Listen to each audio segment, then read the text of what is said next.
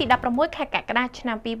2023នៅស្ថានីយ៍ទូរទស្សន៍ Town HD TV បានរៀបចំឡើងនៅព្រឹត្តិការណ៍ដ៏អស្ចារ្យជាប្រវត្តិសាស្ត្រសម្រាប់វិស័យគុនខ្មែរដោយមានការប្រកួតជាលក្ខណៈកម្ពុជាអន្តរជាតិ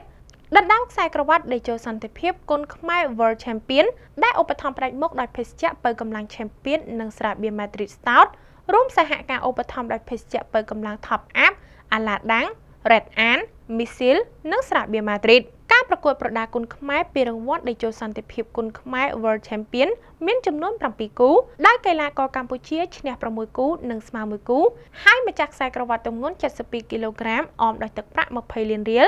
បានទៅលើកីឡាករធឿនធីរ៉ានិងកីឡាករព្រំសំណាងជាម្ចាស់ខ្សែក្រវ៉ាត់ប្រភេទទម្ងន់77គីឡូក្រាមអមជាមួយទឹកប្រាក់20លានរៀល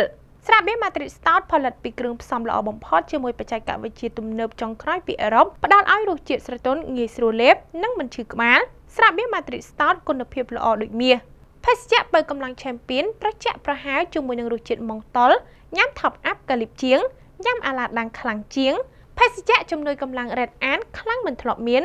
មីស៊ីលធម្មពលឆ្ពោះទៅមុខជានិច្ចស្រាបៀរម៉ាឌ្រីតរីករាយគ្រប់ពេលគ្រប់ទីកន្លែងនាងខ្ញុំសុជាតាពីកម្មវិធី60 Bar